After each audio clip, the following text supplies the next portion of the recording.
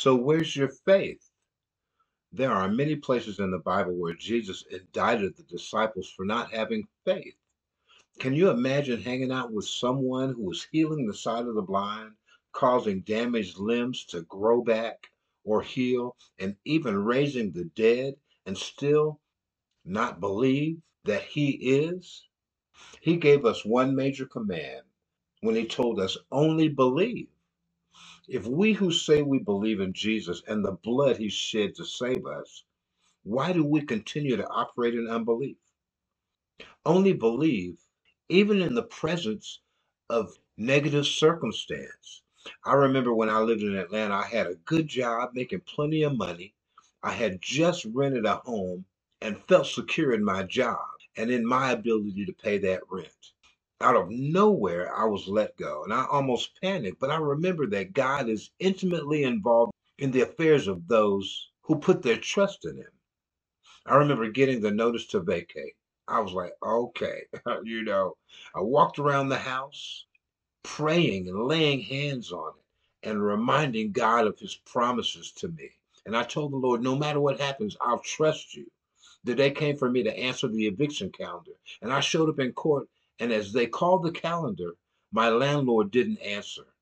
The judge told everybody whose landlord isn't present to sit in the jury box. I found myself sitting alone in that jury box. As I took my seat, I wondered what was going on.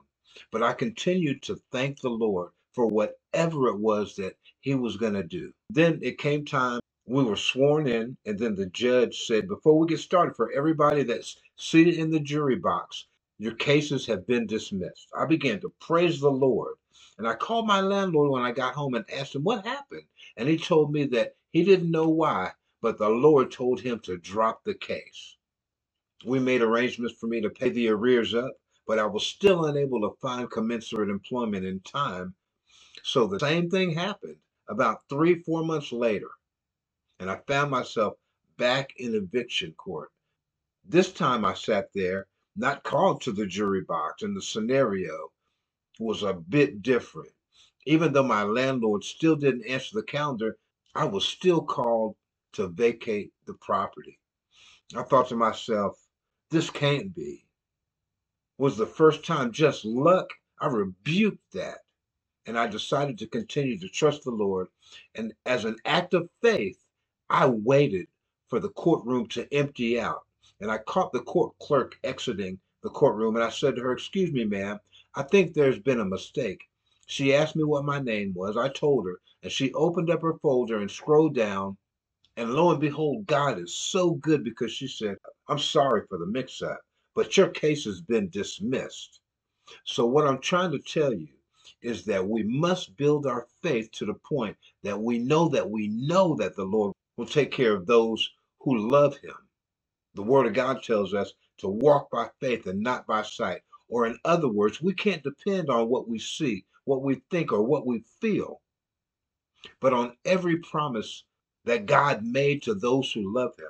The promise we should lean on is Psalm 34 19, where it says, Many are the afflictions of the righteous, but the Lord delivers him out of them all.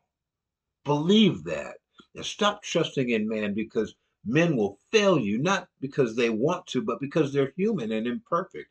God isn't human, He's perfect.